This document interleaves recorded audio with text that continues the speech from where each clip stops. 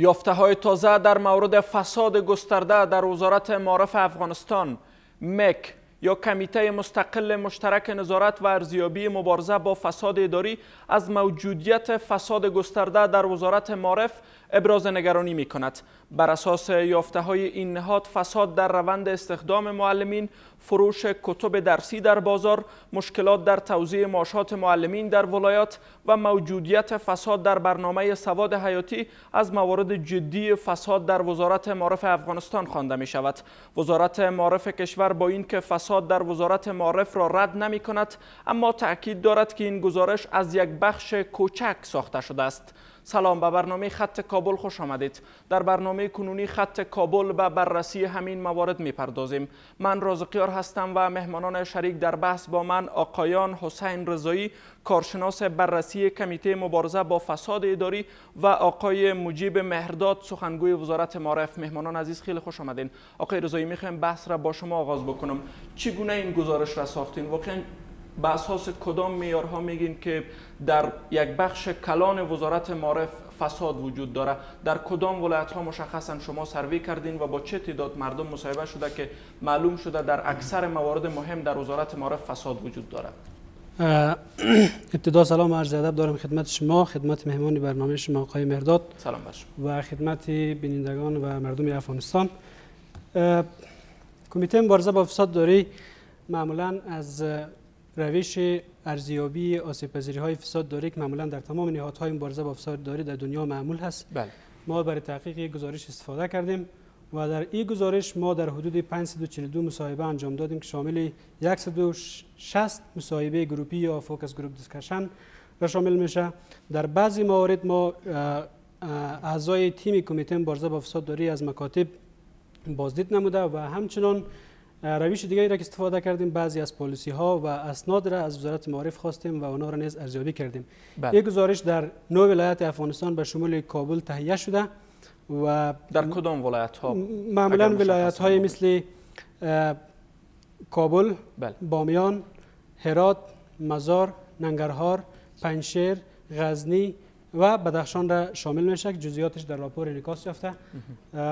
این گزارش با استفاده از این متدولوژی تهیه شده و چیزی را که ما می‌خوایم وضاحت بتونیم است که یک روش این تحقیق یک تحقیق کمی نیست بله. که ما یک نمونه بسیار بزرگ را از وزارت معارف انتخاب می‌کردیم تا اینکه یافته های تحقیق برای تمام سکتور معارف قابل تطبیق قابل تعمیم می بود بله ما از روش خاصی بله. که به نام وی سی میگه روش ارزیابی یا سپذیری های فساد داری در دنیا معمول است از او استفاده کردیم و برای یافته های تحقیق خود باور داریم. بله آقای رضایی حالا دیده میشه که شما اکثرا در ولایت هایی که درجه اول هستند و ولایت های بزرگ که امنیت نسبتا اونجا تامین است این گزارش را تهیه کردین و در کنار این حالا شما اسناد از وزارت معارف خواستین. واقعا بر اساس گزارش شما که وزارت معارف در فساد آغشته است. چگونه اسنادها را به شما شریک ساخته؟ اسنادهایی که واقعا در اون اسنادها فساد صورت گرفته.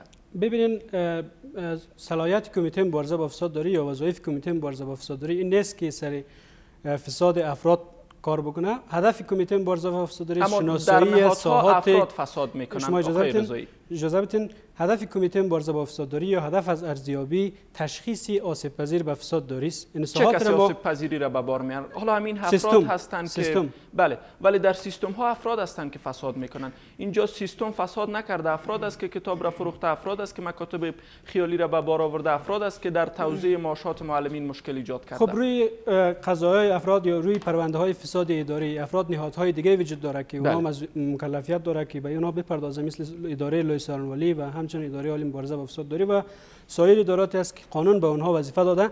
اون چی که به کمیته مبارزه با فساد داری صلاحیت داده شده است که ما از روند مبارزه با فساد داری در افغانستان نظارت می‌کنیم. موارد مشخص سیستم و نهادها را مطالعه می‌کنیم. آسیب پذیری های سیستم را تشخیص میدیم و بعد بر اساس یافته های تحقیق خود سفارش صادر می‌کنیم تا اینکه اصلاحات به نهاد مربوطه بیاید. چیزی را که ای ما در وزارت معارف انجام دادیم. حالا واقعا چقدر می‌تونین بگوین که این گزارش شما واقعی بینانه است؟ حالا اینجا اکثر ولایت های نام شما ارزیابی نکردین مانند هلمند. در هلمند چی میگذره در معارف؟ شما یقینا ما ولایت ها و امو جمعیت یا نمونه ای را که انتخاب کردیم با در نظر داشت شاخص های مختلف بوده. ما ولایت های درجه اول انتخاب کردیم ولایت های درجه دو ولایت های درجه سه. اما ما همچنان ولایت ها را هستن. حالا بله. بامیان پنجشیر کابل اینها هم امن هستند نسبتا. موضوع امنیت خب چیزی است که وقتی که حکومت در بعضی از ولایت ها کنترل نداشته باشه یقینا دسترسی به او ساحات بسیار دشوار است. بله. و من فکر می‌کنم وزارت معارف هم با ما شاید هم نوا باشه که در بعضی از جاها یعنی دسترسی سخت است. ممنونتان آقای مهرداد واقعا چقدر واقع بینانه است این گزارش میپذیرین که در بخش های کلان در وزارت معارف فساد وجود داره با عرض سلام خدمت شما خدمت آقای رضایی. و بینندگان عزیز شما. ببینید ما در سال گذشته پیشنهاد وزارت معارف از کمیته نظارت و ارزیابی بود که این کمیته باید وزارت معارف افغانستان ارزیابی بکنه. بله. ساحاتی را که معروض به فساد هستند یا به لحاظ فساد آسیب پذیر هستند به اساس درخواست ما اونا آمدن. یعنی ما درخواست کردیم که اینا بیان اداره ما را ارزیابی و بررسی بکنن. تا مشترکاً بتانیم از فسادی که ممکن است در ساحات از وزارت معارف افغانستان وجود داشته باشه ما از او تصویر روشنی داشته باشه و ما بتانیم برنامه های خود بر اساس تصویر روشن بله. بریزیم کار از اینا بعد از نو ماه به اتمام رسید که امروز گزارش خود امو مسائل مهمش با رسانه ها با مردم افغانستان در میان گذاشتن که در اونجا جناب وزیر سب معرف افغانستان بله. جناب موین صاحب تعلیمات عمومی هم حضور داشتن. اونا هم نقاط نظر خود درباره این گزارش گفتن و من هم اون نقاط نظر در ادامه برنامه خدمت شما حتما عرض می‌کنم.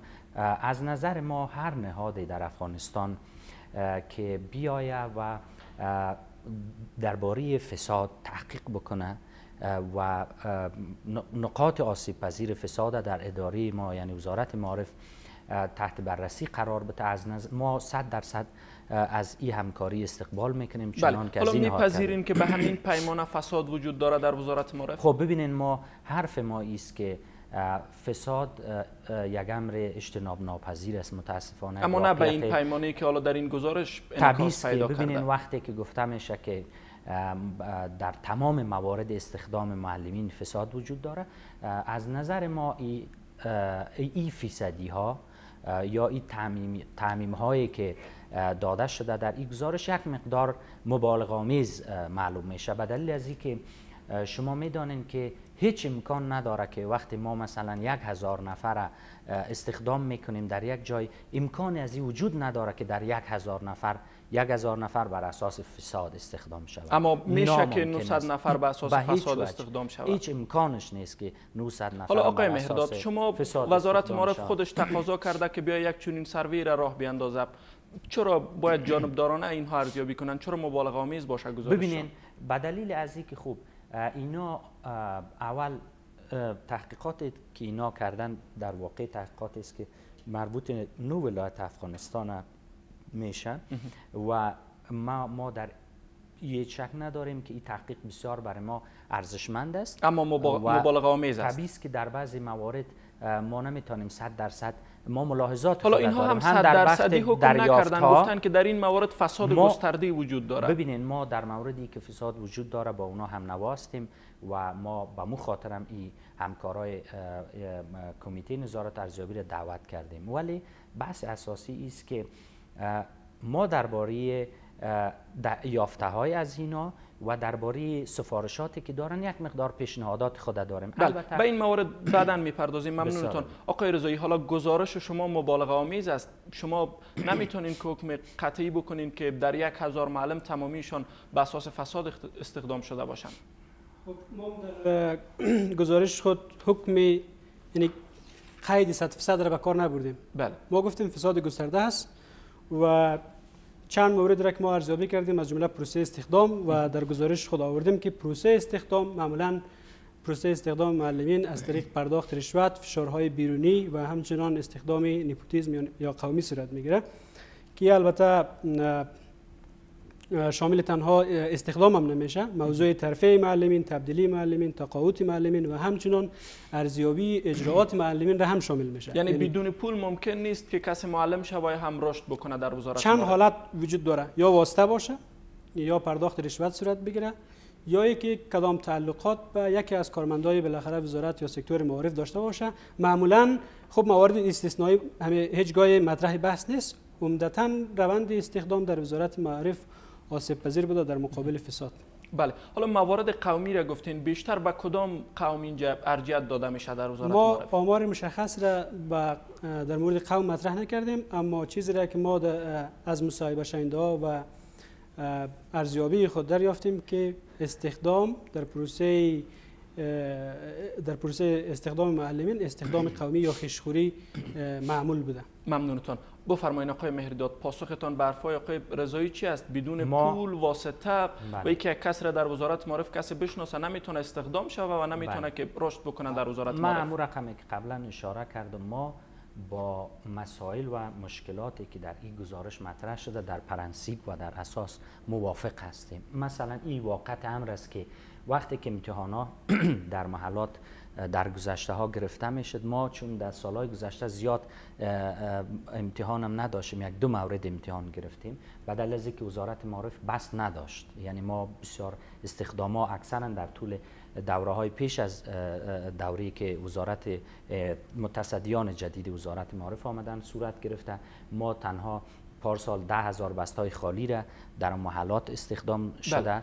و یک 300 400 بس هم در کابل. یعنی استخدامایی که ما کردیم چون بس در اختیار ما قرار نگرفت ما زیاد استخدام نکردیم. ولی همین ولی استخدام های را کردین با فساد آلوده ببینید ما به هیچ وجه رد نمی کنیم که با فساد در کدام مشکلات سطح بوده این فساد آقای مهرداد؟ من خدمت شما عرض می‌کنم. ببینید در این هیچ شکی نیست که در محلات زورمندان وکیلا اینا صد درصد در امتحان در امتحانایی که ما عکس می‌کنیم چی؟ امتحانای کارمندان خدمات ملکی ما چی استادای ما متاسفانه مداخله صورت می‌گیره. بله. یعنی در محلات ما این واقعیت انکار ناپذیر است. بر ازی باید یک راه چاره سنجیده شود. راه چاره چیست؟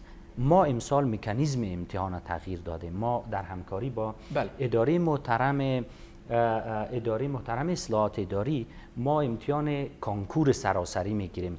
و بله. اجازه بدین نکته بله. مهمی است. موارد که گفتین زورگویی ولی اینجا بحث کلان بحث فساد است. در وزارت معرف ها فساد می‌کنن؟ حالا در کدام سطح هستند که میاین از یک معلم که استخدام میشه باید پول بده؟ یک کسی که از یک بست به بست دیگه باید ارتقا بکنه اینجا باید پول بپردازه. ما هیچ رد نمی‌کنیم میره در کدام سطح ببینین بله رد نمی‌کنیم در کدام سطح فقط ما با, با, با, ببینین. ممکن است رئیس معارف یک ولایت فساد کنن ممکن است مدیرای مکاتب آمیرای حوزه فساد کنن و خدمت شما عرض بکنم که پیش از اینکه این گزارش این موارد هم تشخیص بده ما خودمان اشراف داشتیم. بر وجود فساد و بر ازی ما در حال ایجاد مکانیزم های تدافعی بودیم که جلو بله. از فساد گرفته شود. اجازه بدین که تفاوتی که مثلا ما در کوتاه میگم استخدام معلمین سابق در ولایت ها صورت می گرفته یک رئیس معارف محترم در یک ولایت در تبانی با وکلای شورای ولایتی در تبانی با زیر فشار وکلای مجلس نمایندگان. ممکن بوده که ما گزارش های داریم که در اونجا واقعا عدالت صد درصد رعایت نمی‌شده. حال کاری که ما کردیم تمام امتحان نتایجش به مرکز می آید تشکر. ادامه خط کابل را پس از بیان برنامه کوتاه دنبال کنید. مشکلات ما میشه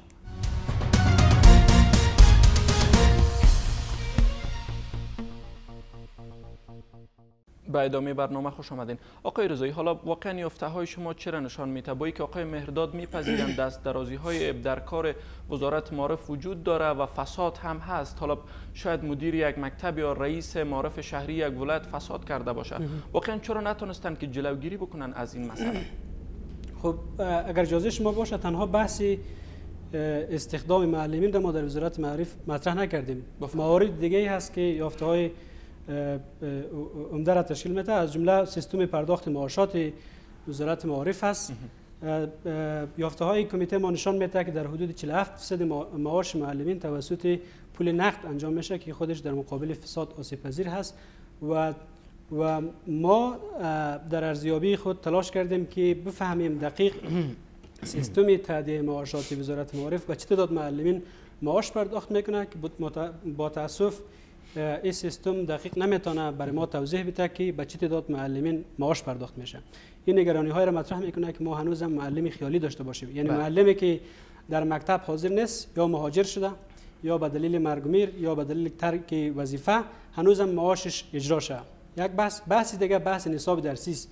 حجم نصاب درسی بسیار گسترده است و از طرف دیگه زمان تدریس بسیار کوتاه است. مثلا در مکتب روزانه 6 ساعت تدریس میشه 45 دقیقه مطابق وقت استانداردش در نظر گرفته شده بله. به دلیل از اینکه مکاتب در سه شیفت دو شیفت تدریس میشه 45 دقیقه به 30 دقیقه معمولا کاهش پیدا می‌کنه بله. و کتاب ها تا آخر سال را به پایان نمی‌رسه و این خودش زمینه را برای فساد بین شاگرد و معلم فراهم می‌کنه این زمینه را برای فراهم می‌سازه که معلم و شاگرد با هم تبانی کنه تا اینکه نتیجه امتحانات را با هم سپری کنه بله. موضوع دیگه موضوع کتاب های درسی است. برغم مصرف بودجه بسیار هنگفت. هنوزم با تاسف بیش از 70 فیصد شاگردا در افغانستان کتاب دریافت نمی‌کنه و یک بار سنگین اقتصادی است که بالای والدین شاگردا اعمال شده. کتاب دریافت نمی‌کنن یا یعنی که منظور معرف می‌گیرن برشان توضیح نمی‌کنن ارزیابی ما حداقل ما وقتی که از مکاتب دیدن کردیم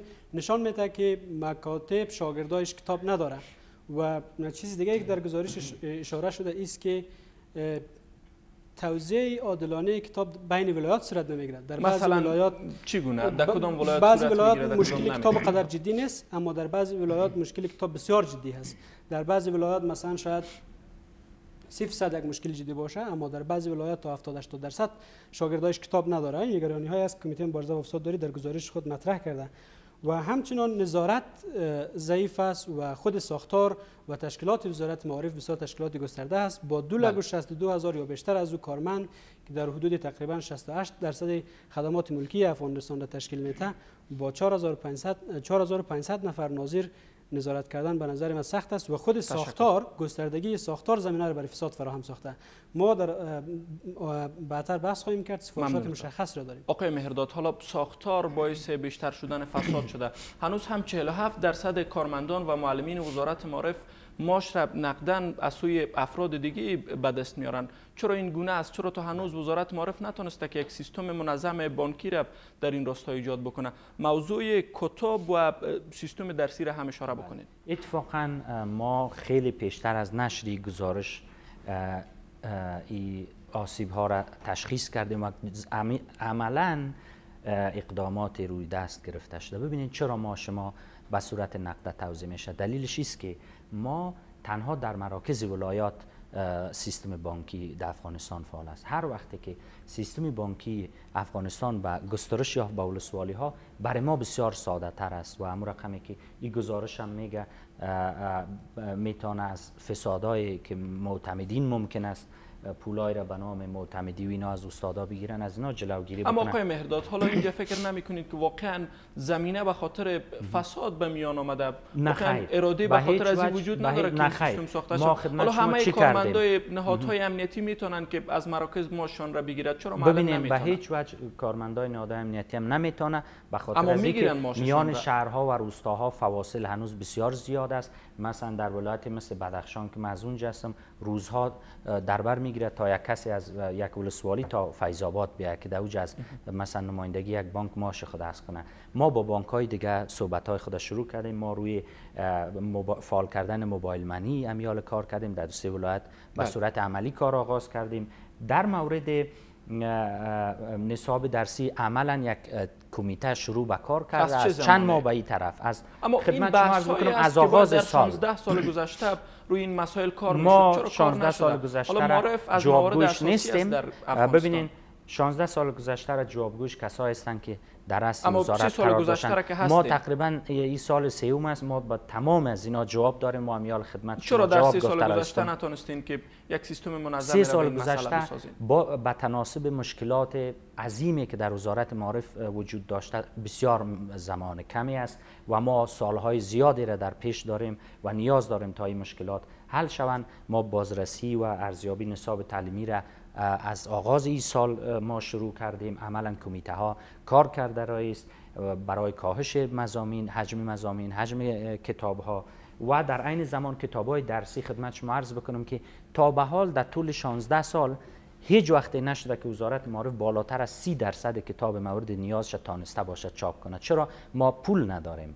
در بودجه که سالانه به وزارت معارف اختصاص دادم میشه به نام کتاب یک قرانم نیست بله. و ما پول چاپ کتاب را به دامن دست دراز می‌کنیم به دامن مؤسسات مختلف که یک مقدار پول میتن که ما در حدود سی درصد نیاز خود رفت کرده می‌تونیم. خوشبختانه ما امسال استثناء ما یک پول بیشتر داریم بله. که می‌تونیم به اندازه نیاز ما امسال کتاب چاپ بله. حالا پیشنهادهای هم شده از سوی این نهاد برای شما. در این رابطه دیدگاهتون در چقدر میپذیرین بعضی پیشنهادها؟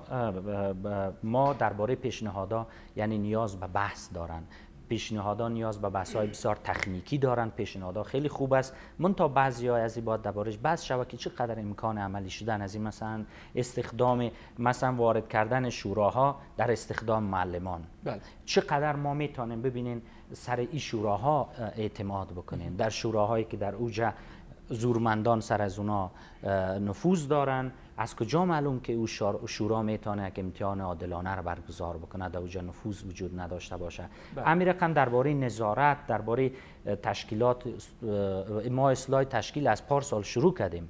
امروز امیل از یک با شما صحبت می‌کنم تمام تشکیل وزارت معارف توسط یک تیم متخصص کاملا ارزیابی شده و اصلاحات آمده و امیدوار هستیم که نهایی شود تا ما بتوانیم در سال آینده اصلاح تشکیلات خودم شروع بکنیم. تشکر. آقای رضایی می‌خوایم شما هم خیلی کوتاه اشاره بکنین. حالا موضوع معرف در کشورهای دیگه از موضوعات اساسی است. متاسفانه در افغانستان هیچ توجه جدی از سوی حکومت به این مسئله نمیشه. واقعا اگر همین گونه باشه آینده را چی گونه می‌بینین؟ راه حل اساسی چی است که باید جلوگیری شود از فساد زورگویی و ده ها موارد دیگر در وزارت معرف خب نگرانی کمیته مبارزه با فسادواری هم همی هست که فساد سیستم را آسیب پذیر ساخته و زمانی که سیستم آسیب پذیر باشه یقینا روی کیفیت معارف تاثیر می‌گذاره و ما دریافتیم که روی کیفیت معارف تاثیر گذاشته راه حل است که ما در بر اساس یافته های گزارش در ختم گزارش در حدود 66 سفارش به وزارت معارف مطرح کردیم که هم شامل وزارت معارف میشه و هم شامل دونر و جامعه بین میشه و هم سطح رهبری حکومت میشه که در صورت این سفارشات تطبیق شود من فکر می‌کنم که یک بخشی از مشکلات سکتور معارف حل میشه. بله. و روش کار کمیته مبارزه با افساد داری هم است که معمولا از تطبیق سفارشات همراه نهاد مربوطه نظارت می‌کنه. و ما هم مصمم هستیم برای دو سال آینده سفارشات خود را در وزارت معارف نظارت بکنیم. بله سپاسگزارم آقایان رضایی و مهرداد از حضورتان در برنامه کنونی خط کابل و تشکر از همراهی شما همچنان. تا بعد خدا نگهدار.